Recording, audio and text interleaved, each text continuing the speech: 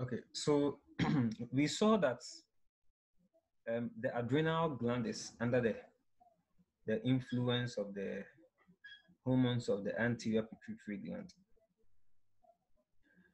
Okay, so um, most importantly, the ACTH, okay? And wh- when we take the adrenal gland, um, I'm sure we already know the anatomy of the adrenal gland. It's located just um, above the kidneys, on top of the kidneys. And the adrenal gland is just like the kidney. So, I mean, in terms of uh, morphology, okay, so it also has the cortex and then the medulla, just like the kidneys. And the hormones produced by the adrenal cortex um, are different from the, the hormones produced by the adrenal medulla, okay? Remember the adrenal medulla produces um, um, epinephrine, um, I mean, um, adrenaline, noradrenaline, okay?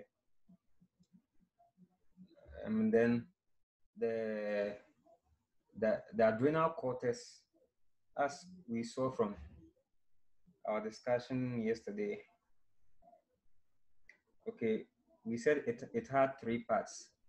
The glomerulosa, the fascicularis, I hope, I hope I'm right, and the reticularis or something like that. Is it fasciculata or something? One of those things. Okay, and they all produce hormones, and the hormones that are produced by the adrenal cortex are um, we can group them as the mineralocorticoids, the glucocorticoids, and then the, the sex hormones, okay? And then I said the mineralocorticoids are uh, mainly responsible for um, the regulation of minerals, okay, or the ions like potassium and sodium. And then the glucocorticoid is responsible for um, glucose regulation, okay? And then we, we know what the sex hormones are for. Okay, and um, we, we know what the sex hormones are for. Good. So I, I, I also said that some of these hormones that we are going to see, especially from the adrenal cortex, okay, they don't only have glucocorticoid function. Okay, so some of them have glucocorticoid function with some mineralocorticoid function. Okay, and vice versa. Okay, good. Now, for the mineralocorticoid, the prototype we use is aldosterone. So aldosterone is the key uh, mineralocorticoid, okay?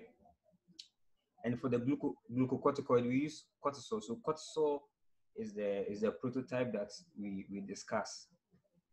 So remember that though cortisol mainly acts as a glucocorticoid, it also has a, a mineralocorticoid um, action. Okay, good. So the disease of the adrenal cortex can be divided broadly into two. Um, we have the hyperfunction of the gland where the gland produces excess hormones, okay? And we also have the hypofunction of the adrenal gland, which is called the adrenal insufficiency. Okay, good. So we'll be looking at disease of the adrenal glands, which leads to increase, uh, which leads to increased adrenal hormone production, and those that leads to a reduced adrenal hormone production. Okay, so the ones which are caused by the, the increased production or the hyperfunction, there are two. We have the Cushing's um, syndrome and then the Conn syndrome, okay? Um, Cushing's syndrome, high levels of um, uh, cortisol, that is glu glucocorticoid. Conn's disease, high levels of aldosterone, which is mineralocorticoid, okay? Good. Then, then we have the hypofunction. The hypofunction is the adrenal insufficiency, which we call the Addison's um, disease. Okay. So now, this part is very important for you to understand. You see, when it comes to the adrenal cortex diseases, there are a lot of tests that you could do. Okay, so if you don't organize it in your mind, like you just get confused. Okay, so we we divide the test we, we, we do into two.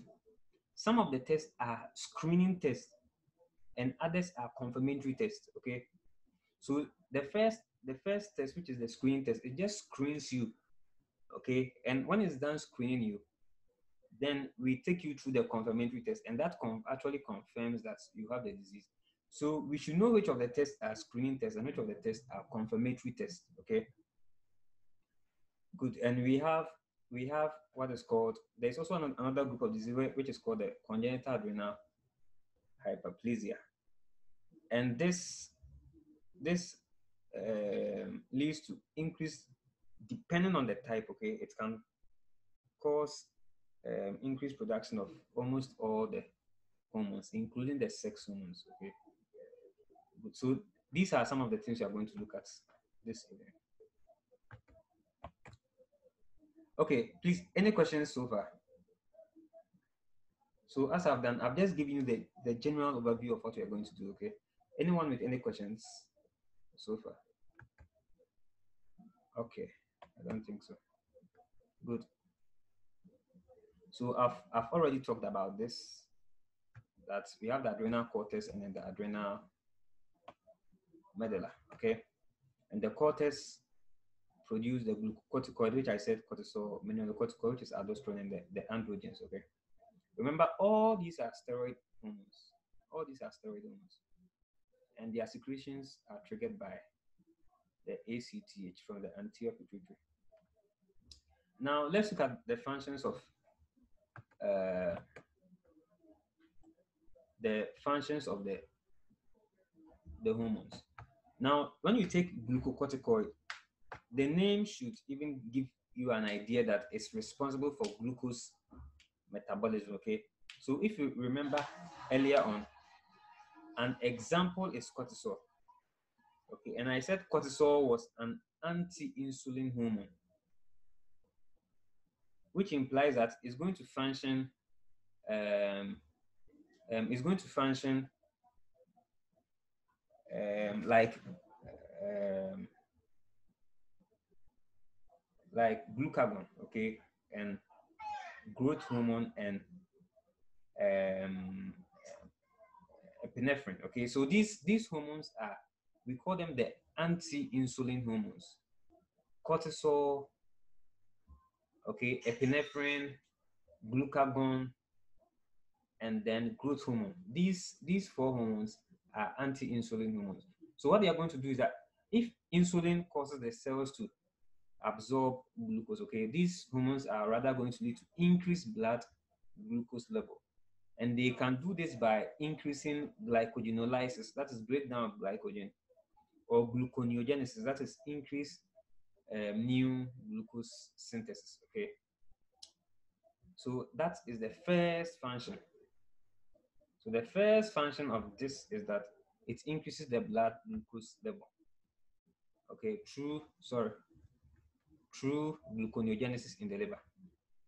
Okay, aside that, it also functions by converting um, um, fat by breaking down fat and then am amino acid. Okay, remember, I mean proteins. If you if you break down proteins, you get amino acid, and some of these amino acids can be used for gluconeogenesis. Okay, good. So other functions of glucocorticoid Okay, so they increase protein and fat catabolism, as I said it in the previous um, slide. Okay, so it causes proteins to break down and also fats to break down. And it increases hepatic gluconeogenesis, as I have explained. Okay, and it also inhibits ACTH. That's a, the negative feedback mechanism. Okay, and glucocorticoids also have a function of increasing blood pressure Okay, so what they do is that they, they make the arteries sensitive to, to the action of no, noradrenaline, okay? And hence increased blood pressure. So if I ask, why is it that Cushing's, Cushing's syndrome, they come with hypertension? you should be able to explain why people with Cushing's syndrome have hypertension. Okay, aside the mineralocorticoid function of cortisol, which leads to reabsorption of sodium and water, okay, which can cause hypertension. It can the, the cortisol or the glucocorticoids can also directly um, um, increase the sensitivity of of the arterioles to um, vasoconstrictors, okay, and hence increasing their um, the blood pressure. Okay. Um, so what what what what it can also do is that it can also lead to um, increase water excretion. Okay, and then we will look at this later on. Good. One thing about glucocorticoid that everyone should know is that they have anti anti-inflammatory effects. So, as I mean, for the clinical students who, are, who have joined, you you notice that we use we use cortisol or glucocorticoid, okay, or um, drugs in this family to treat inflammatory disease.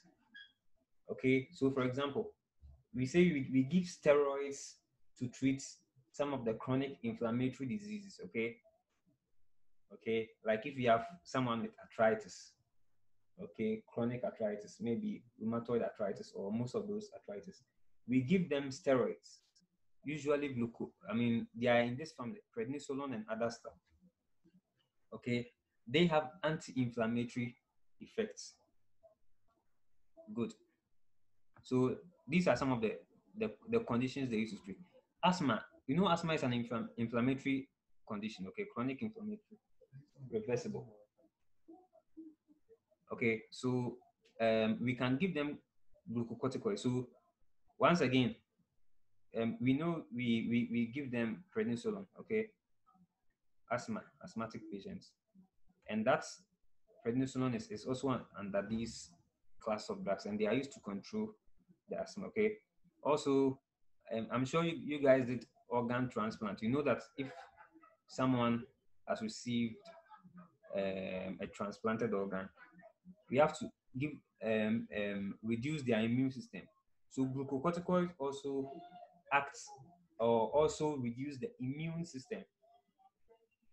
Okay, so remember that people with, with Cushing's syndrome who have high levels of glucocorticoid, remember that they are prone to infections. Okay, and it is an immunocompromised state. Okay, and as I said, it's also used to treat other inflammatory conditions. Good. Now let's look at cortisol.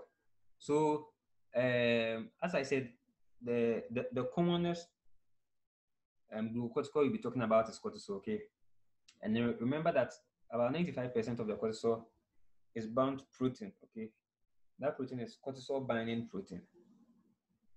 Okay. Hmm.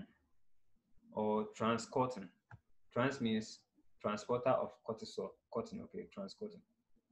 So is the is the just like any other hormone or enzyme, is the unbound form which is biologically active. But whenever we say we are measuring the total um, cortisol level. That's we are we are measuring both the bound and the unbound. Okay, so remember that. Now, yesterday I emphasized that the release of cortisol is, or, or the maximum amount of cortisol is released in the morning between 8 a.m. and 9 a.m. Okay, and I said that it's just we, we know cortisol um, prepares one for an activity. Okay, it, it prepares one for an activity. So one explanation we can give is that when you wake up in the morning, you are going to work throughout the day. So you need to have that cortisol to to keep you active. Okay.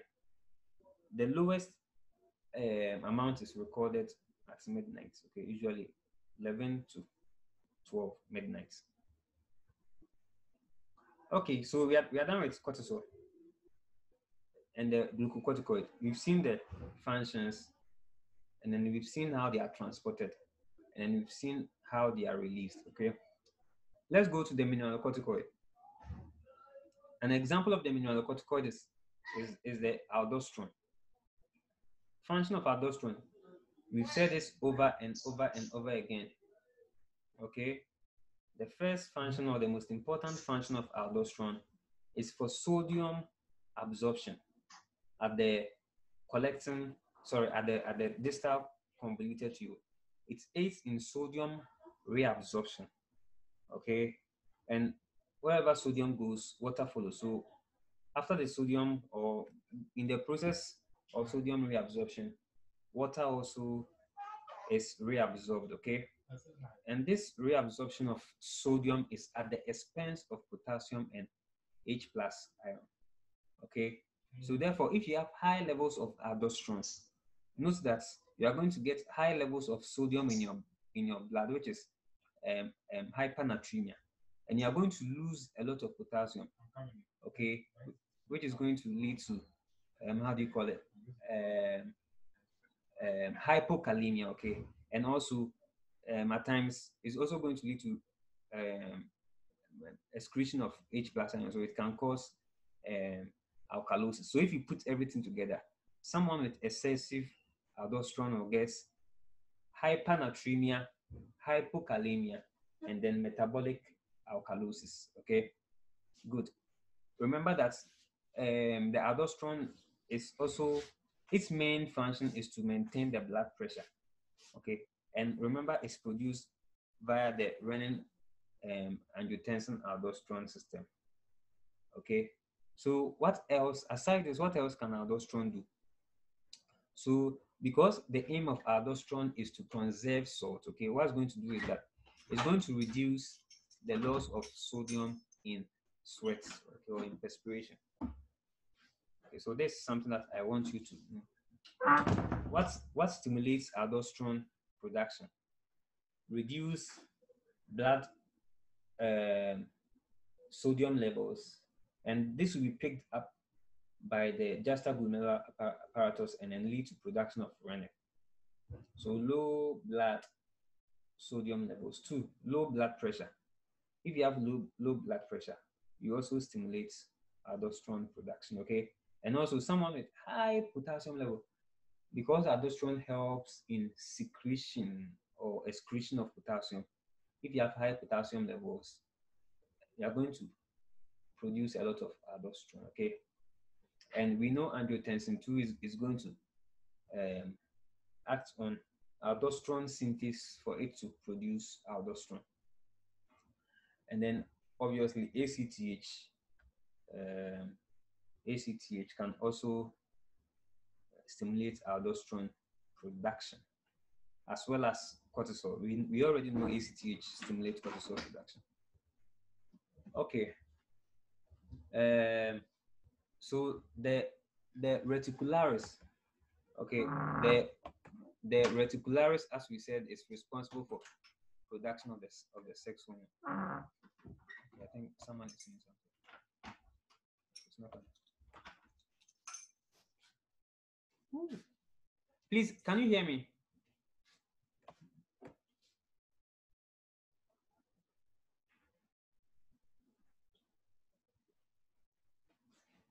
Okay. Please, can you guys hear me? Someone is saying he can't hear.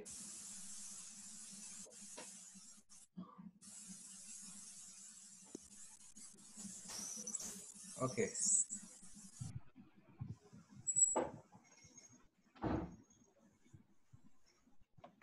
Okay, good. So when we take the adrenal cortex, okay, when, when you take the adrenal cortex, um, we, we have the reticularis, okay, and then the the reticularis is responsible for producing the sex hormones, okay. The sex hormones we are going to look at is these ones, the androstenedione and then the DHEA, okay, DHEA, and the DHEA sulfate. Now these two, okay, the androstenedione and then the DHEA can also be produced by the, the testes, okay, but the DHEA sulfate, that one is only produced by the adrenal gland, Okay, so and we can use that to distinguish. So, for example, if someone has adrenal insufficiency, okay, and then we ask you that between this um, these three hormones, which one will you measure? If you measure this one, okay, you might not you, you might not get the accurate level because maybe the testosterone, sorry, the testes might have produced this this androgen, okay, but the sulfate one is a surrogate marker for um, um, adrenal function, okay, because the DHE is sulfate is only produced by the adrenal glands. Okay, good. Now the function of, so we call these ones androgens. Okay, so these hormones are androgens. Okay. Um, some of them are, so note androgens are produced in the testes, the ovaries, as well as the adrenal glands, okay? And then the androgens are responsible for for initiation and, and of initiation of puberty and then maintenance of the secondary sexual characteristics, okay? Um, the major androgen in males is the testosterone. But we have the DHT, which is the dihydrotestosterone. And if you remember from the development of the uh, male um, genitalia, okay, we know that DHT is very important.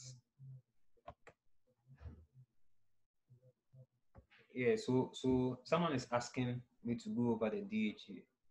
So I'm saying that the, the normal DHEA can be produced also by the testes, okay?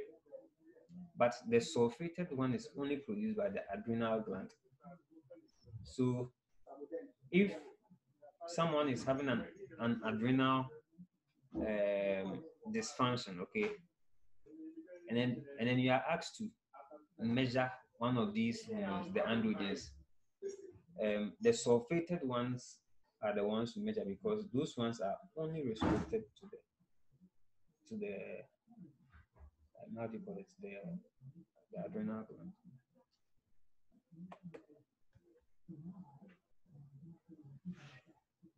Okay. Now the first condition we are going to look at is Cushing's syndrome. So Cushing's syndrome, you see, I didn't say Cushing's disease. I'm saying Cushing's syndrome. Okay. Now, when you talk about Cushing's, so note that Cushing's is when you have a lot of glucocorticoids, okay? Glucocorticoids, high levels of glucocorticoids or high levels of cortisol. Now, I'm saying Cushing's syndrome. Cushing's syndrome is different from Cushing's disease, okay? And we, we will note the difference. So this is someone who has high levels of cortisol level. Now the question is, why, why is that this patient has high levels of cortisol? So there are a lot of causes of this syndrome. This syndrome is going to lead to high levels of cortisol production. Okay, good.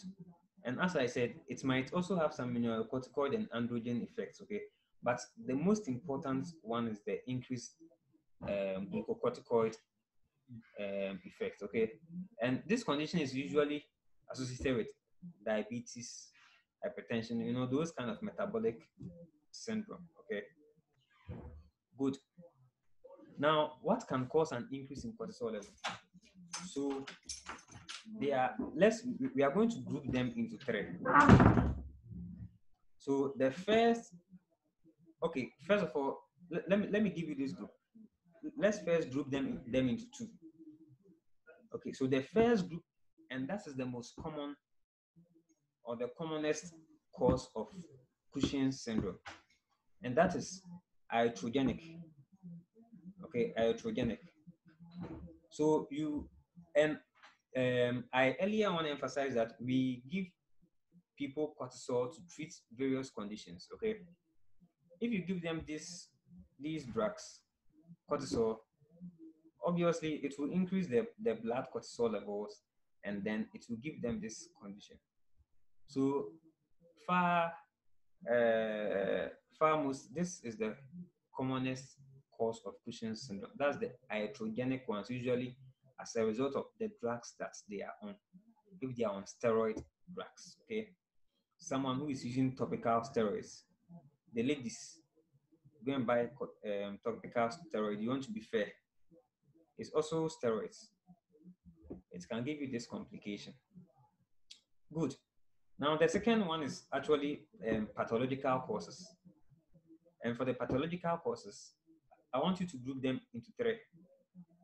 So the first one, let's take it from the pituitary gland.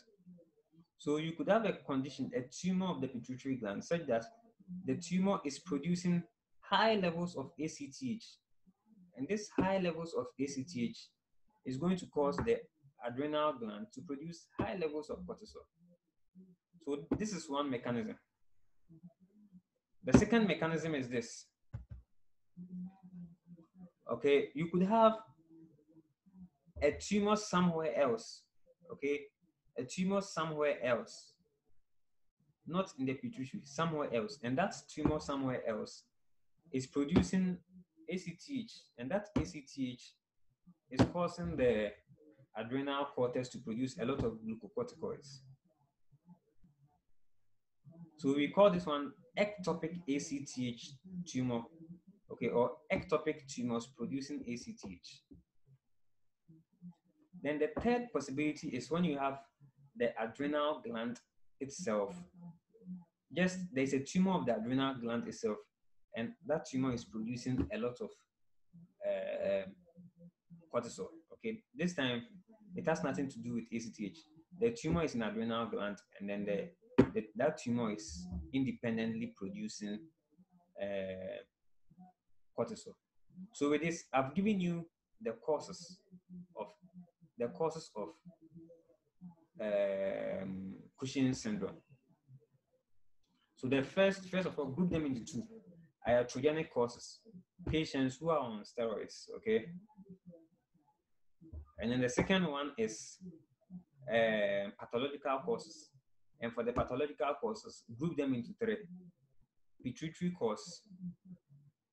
Okay, so the pituitary tumor producing a lot of ACTH, ACTH, okay? Then the third one is an ectopic tumor, which is also producing excess ACTH. And the last one is the tumor of the adrenal gland producing cortisol. So with this, you've organized the knowledge in your mm. head. You don't need to open any textbook. Okay?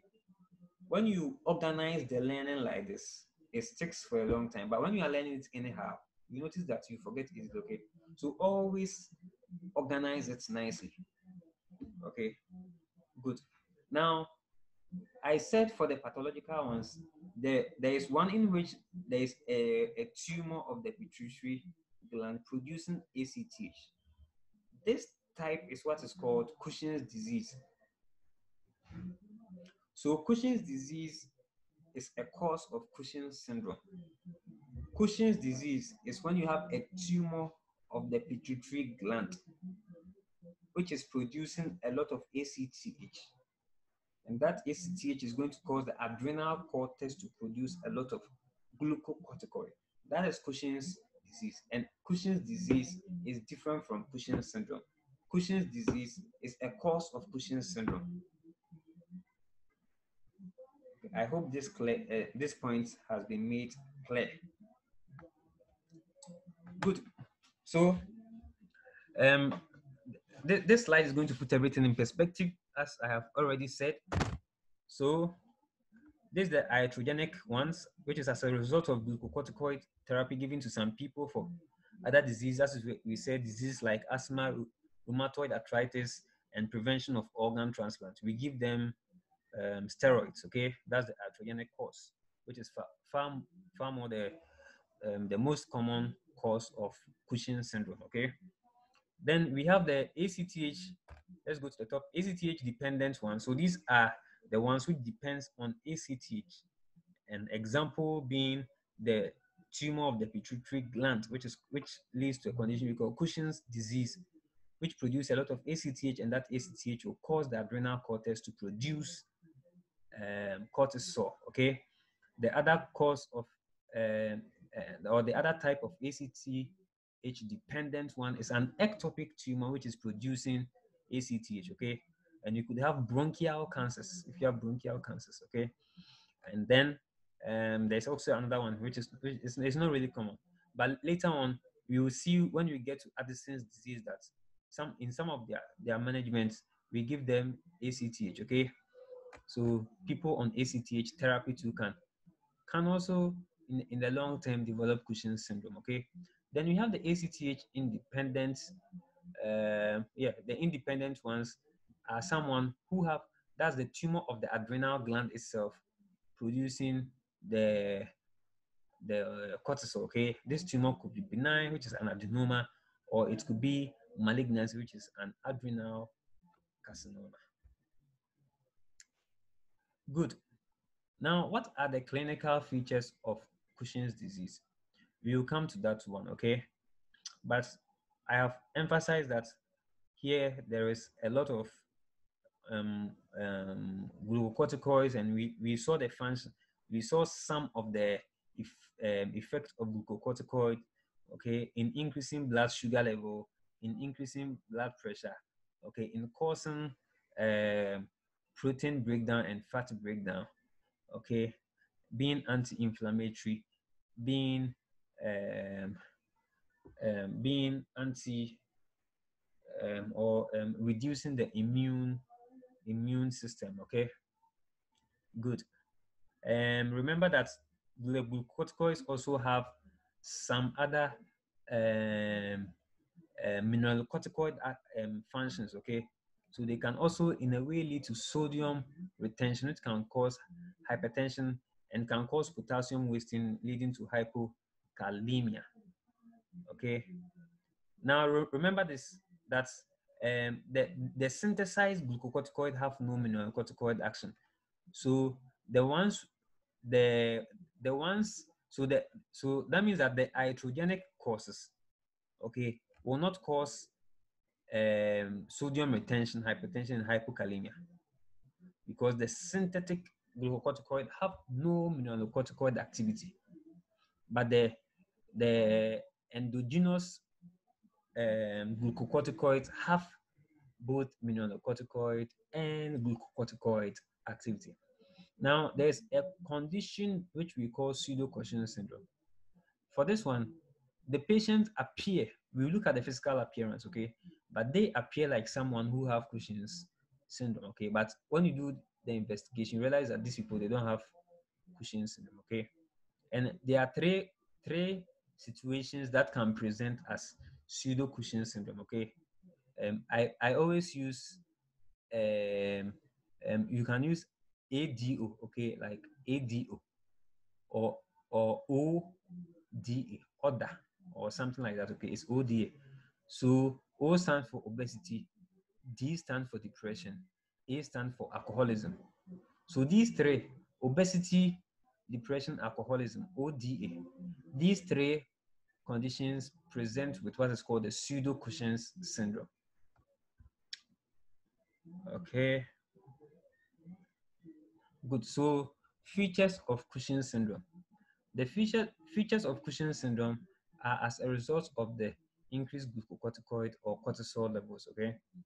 Now, if you remember what cortisol does, we said cortisol breaks down proteins and it also breaks down fats, okay? So, um, dependent. So let's see. So there is truncal obesity. Now, the reason for this obesity, okay, when you say truncal obesity, and that's ob obesity of the of the of the trunk, okay, of, of the trunk. Okay you see that the person's abdomen is protruding okay? And then they have what is called the moon face. All their their face is full of fat okay? Um this what causes this is, is, is what is called the abnormal abnormal redistribution of fat okay? So so the fat breaks down from where they are normally supposed to be and they accumulate in um, the face and then the abdomen okay so there is truncal obesity. Um, good. There's also thinning of the skin. This because the subcutaneous tissue, okay, the fat in the subcutaneous tissues have been um, broken down, okay, and been redistributed, okay. Good. And so that leads to the thinning of the skin. And the thinning of the skin will lead to leads to um, stretch marks. So some people have uh, some stretch. I'm not saying everyone who has stretch marks has Cushing syndrome, but those with Cushing syndrome they usually um, appear with purple purple stretch marks. Okay, and excessive bruising. This because their blood vessels become very weak because collagen is the collagen produced is not strong, it's being broken down. So they have that predilection to um, ease bruising, okay? And they also have what is called the hirsutism. Um, the hirsutism means that they have a lot of hair, okay? And this is because of the, um, um, if you remember, I said that those with Cushing's syndrome, okay, um, especially the ACTH type, even the testosterone levels are also increased, okay? So that leads to the, um, how do you call it? The hirsutism, which is hair, excessive hair. Then you have skin pigmentation. Now, if you remember carefully, um, I said yesterday that the ACTH, okay, um, resembles the MSH, which is melanocyte stimulating hormone. They are all coming from the same precursor, the POMC gene, the POM, uh, POMC gene, okay? So when that one is spliced, you get ACTH and MSH. And this ACTH can therefore um, have some um, effects as the MSH. MSH is melanocyte stimulating, which stimulates melanin to produce the dark pigment of the skin. So that means that if you have excessive ACTH, the excess ACTH can um, can um, um, activate the or stimulate the melanocytes to produce excessive melanin, causing dark pigmentation of the skin as well as the oral mucosa. Okay, and we've explained the hypertension.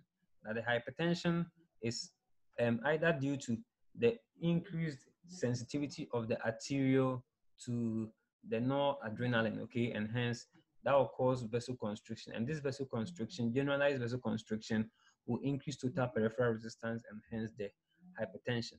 And also the hypertension too can be due to the mineralocorticoid effect of glucocorticoids, which is as a result, I mean, which, which leads to reabsorption of sodium and water, hence causing the hypertension. The glucose intolerance is actually um, because these people are, as I said, they are um, obese and other stuff. Okay, obesity and increased lipid levels can cause um, um, insulin resistance, and that insulin resistance can lead to glucose intolerance. Okay, just like a diabetes patient. Muscle weakness and wasting. Remember, we said one function of the glucocorticoid is that it breaks down proteins. So there is protein breakdown, okay, and of the muscles. And when this happens, the muscles become very, very weak, okay, and then the muscles are wasted. And menstrual irregularities, okay, this is as a result of the increased androgen levels. Okay, so as I said, Cushing's syndrome, um, though mostly is the glucocorticoid levels which are increased, but there are some mineralocorticoid and then some androgen effects. Okay, and that androgen effects in females, it can cause irregular um, irregularities in the menstrual cycle as well as excessive hair. So you see that there are some women with a lot of beard. Okay, hmm. that this could be a possibility. Okay, there are other causes as well. Back pain is as a result of the osteoporosis, which is as a result of bone breakdown from the Cushing's um, or the corticoid effect of cortisol. Okay. Not only this, but they this this also can cause um, psychiatric disturbances. Okay, and um, depression. Now, all these things are features of Cushing's syndrome, and all these things are also side effects. Most of them are side effects of using um, steroids. Okay, so when they ask what are the side effects of steroids, they are almost just like these ones. But remember that the synthetic steroids do not have the mineralocorticoid and then the um, how do you call it the um, androgen activities or effects. Good. So now the, the general biochemistry, as I have said, okay, there will be hypokalemia, there will be glucose intolerance, metabolic acidosis, hypernatremia, all as a result of the mineralocorticoid effects of cortisol. Please, any questions so far?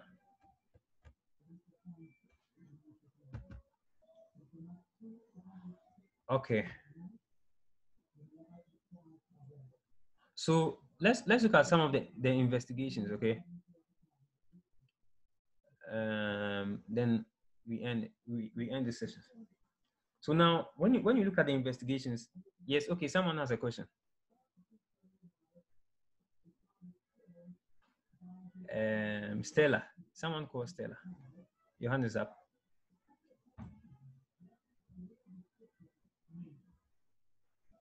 Okay, let's continue. So for the for the investigations, as I said, we have the screening one. Okay, then we have the confirmatory one. So the screening one is used to screen and say, no, this one has what is called Cushing's syndrome. Okay, this one is Cushing's syndrome.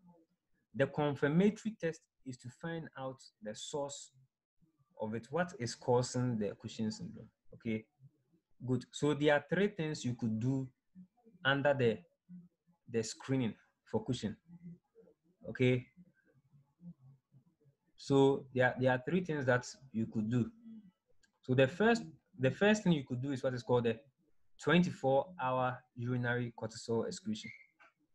Okay, so that means that within 24 hours, you take all the you take the the cortisol um, uh, um, levels in the, the urine. Okay, 24 hour period.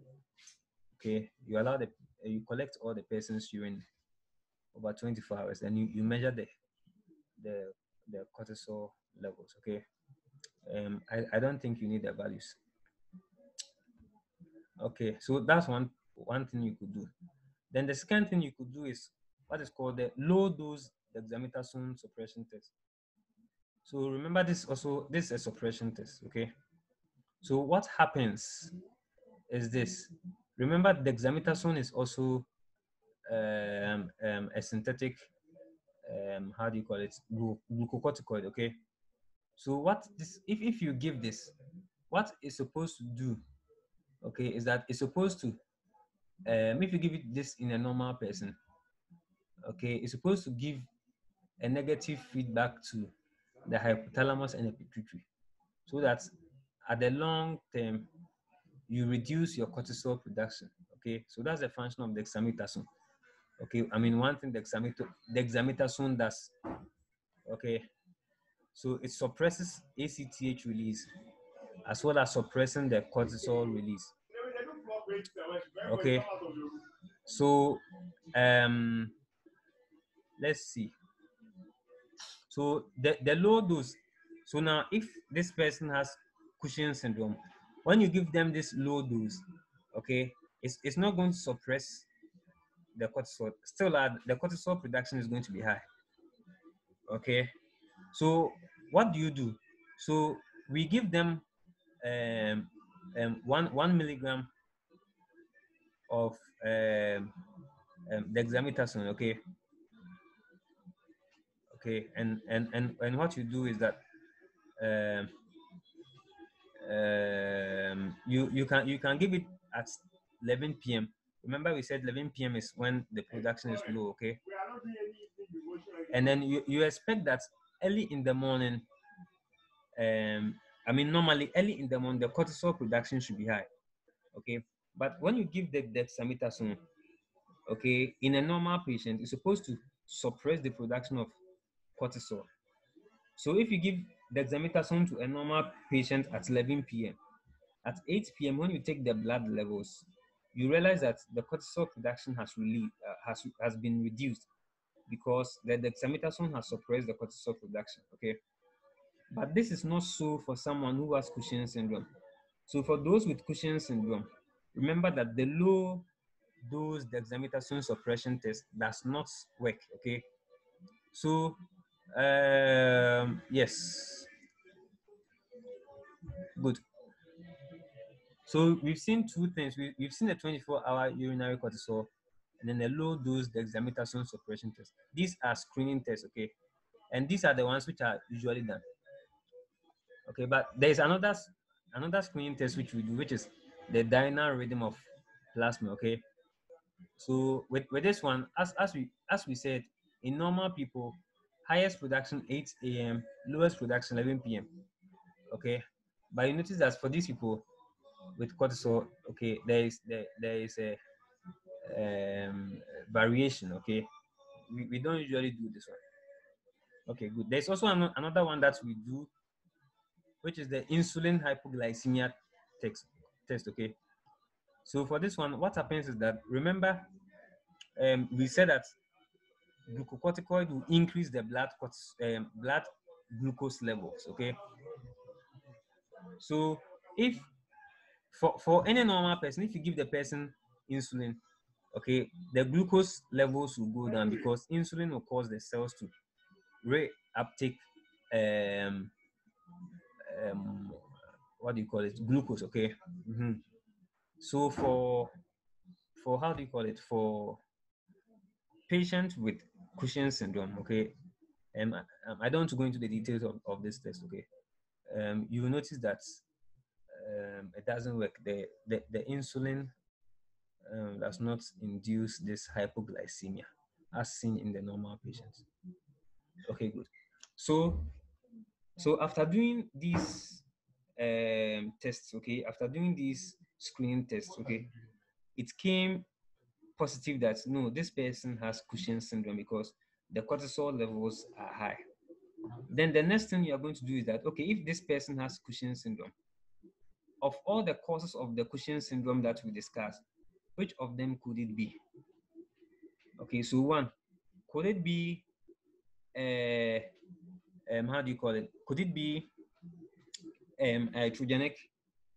So you take a good history and find out whether the, the, the, the person is using any drugs, okay? Good. Then the next question you ask is that, no, could this be coming from the pituitary gland, that is Cushing's disease? Or could it could this be an ectopic tumor somewhere which is producing ACTH? Or finally, could this be the adrenal gland tumor producing a lot of ACE, um, a lot of cortisol? So with these three questions that we are going to ask, okay, you are going to perform certain investigation. And the investigation that we are going to do is going to give you one of them. Okay, or it's going to point to one of them. So what you could do is that is that you can measure the ACTH levels. Okay, if you measure the ACTH levels and it's high, then obviously you know that it's either coming from the pituitary gland or it's coming from a tumor somewhere producing the ACTH. ACTH. Okay, then obviously you rule out the the adrenal gland. Okay, now some someone can ask this question that uh, if we if we know that the tumor the tumor can be in the pituitary gland or the tumor can be in the abdomen or the tumor can be in the adrenal gland why don't we just do mri of of, of the whole body? And then that will save us all this investigation. Because obviously if if it's not iatrogenic then it's a tumor somewhere. So why don't we just do mri of the whole body and, and locate this tumor Okay, that's a valid question. But but the answer is that if if even if we take a normal human being, okay, and we do CT scan, okay, we can find some tumors, some benign tumors somewhere. Okay, we call those ones incidentalomas. Okay, that means that it's an incidental finding. So incidental oma, incidentaloma. Okay, so incidental tumors. Okay, those ones they don't cause anything.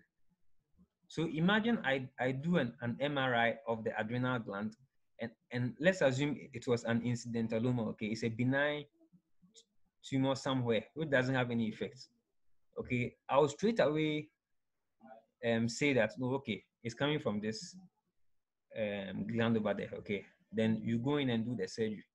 And later on, you, you still realize that the disease condition persists because the adrenal gland that you want to take away the tumor over there was a benign tumor somewhere. So you have to do all these investigations so that all these investigations can point to one organ so that you direct your your scan to that organ and then you take maybe a CT scan or the M sorry an MRI which is very sensitive to soft tissues. Okay, you do the MRI, and then um, it will direct your next or your further management. Okay, good.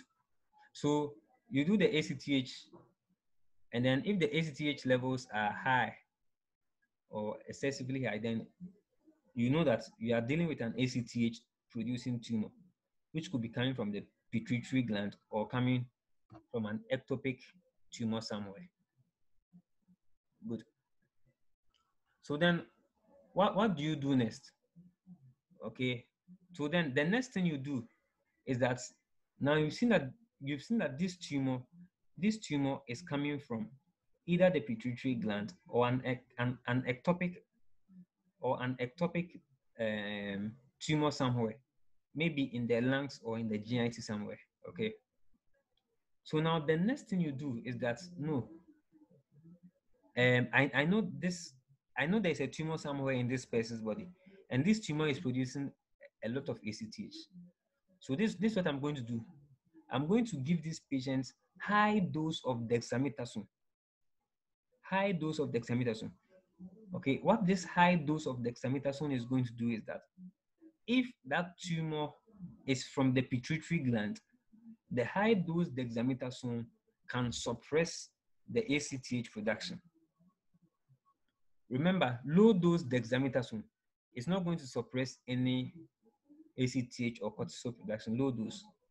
Okay, but remember the pituitary gland is an obedient gland. Okay, so if you increase the dexamethasone and you give a high dose dexamethasone, which is four milligram, okay, you give a high dose um, okay, okay, in your slide, okay, depending on how how you give it, okay, here in your slide, they are saying you give two milligrams six hourly for um eight days. Okay, okay, um, we can go with this.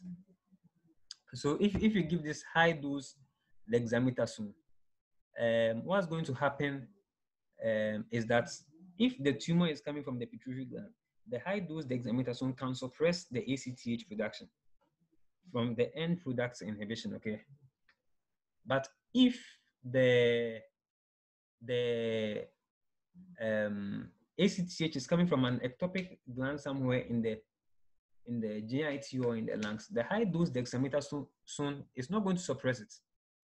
So that means that first of all, so let me put everything together in perspective so we understand. So first of all, we've done we, we see a patient. The patient comes with all the clinical conditions and we suspect Cushing's disease sorry, Cushing syndrome. Then that with that clinical um, suspicion, we, we perform some screening tests, okay? The screening test could be the 24-hour urine cortisol levels. That's one. Two, the second thing we, we, can, we can do is the low dose dexamethasone test, okay? The, the low dose dexamethasone test, okay, in normal patients, it can suppress the cortisol production. 24 hour cortisol production. If it's um, excessive, okay, then we can say, no, this person indeed has Cushing's syndrome. Now, where, what is causing it? Is it iatrogenic? Find out from the history whether the patient is on any medication. Or if not, then you are thinking of a tumor somewhere. Is the tumor in the pituitary gland? Is the tumor elsewhere in the body, the lungs or the GIT? Or the tumor is in the adrenal gland? The tumor in the pituitary gland and the tumor elsewhere in the body. They are all ACTH dependent. So what you do is that you measure the ACTH levels. If the ACTH levels are high, then it will limit your options to a tumor in the pituitary gland and a tumor elsewhere in the body, okay? Good. Then what you do is that in order to distinguish between these two tumors, is it in the pituitary gland or is it elsewhere in the body?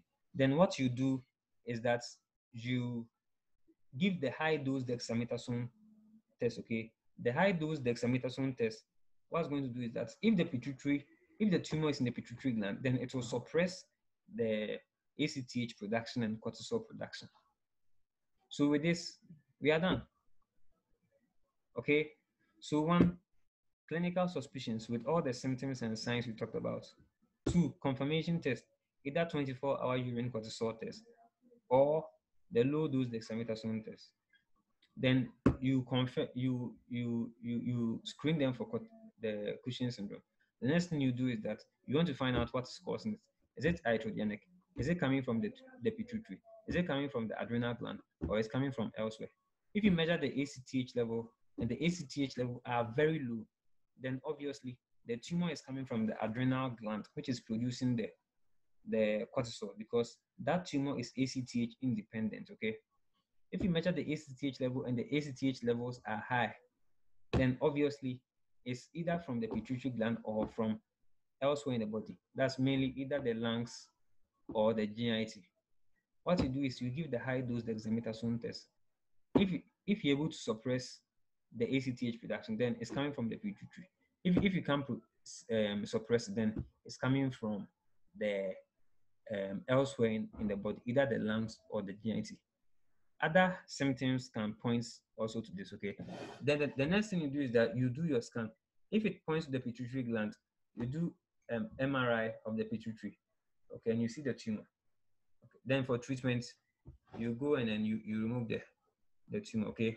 Now, as I said, Cushing's disease is when you have the ACTH producing tumor of the pituitary gland. Okay, so that's the summary. Please, any questions so far?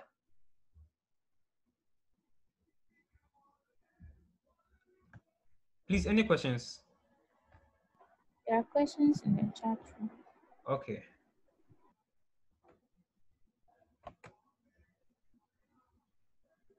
Wait, there are a lot of questions here. Let me see. Okay, so someone said that I should repeat the courses. So first, I said the questions are two. Uh, um, sorry, the courses. The courses are two, either iatrogenic or pathological.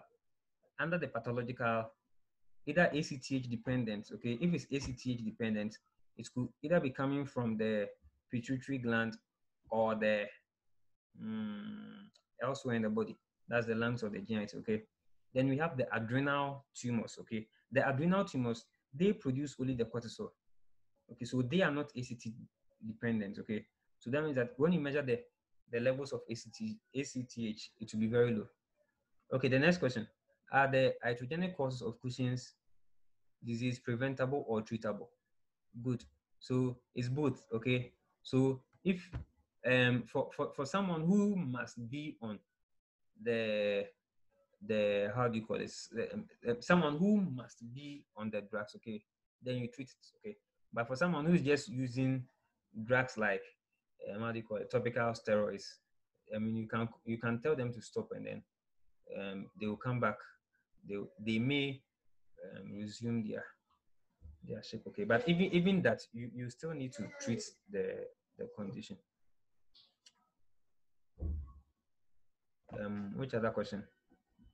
So someone said I should explain the dexamethasone test again. So we have two of them. The the low dose, the low dose, um, the low dose dexamethasone test. Okay, that one. Once if if you have Cushing's syndrome, that's low dose. It's not going to do anything. It's so small that it cannot suppress the. Um, it cannot suppress the the cortisol production. Okay, good.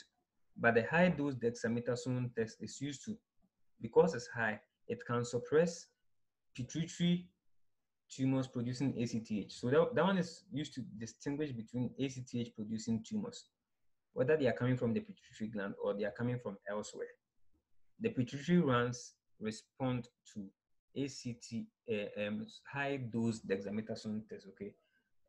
And if I say it responds to it, it means that later on when you measure the cortisol level, you realize that the cortisol levels have been reduced. Okay, so I think I've answered all the questions over here. Good. So um,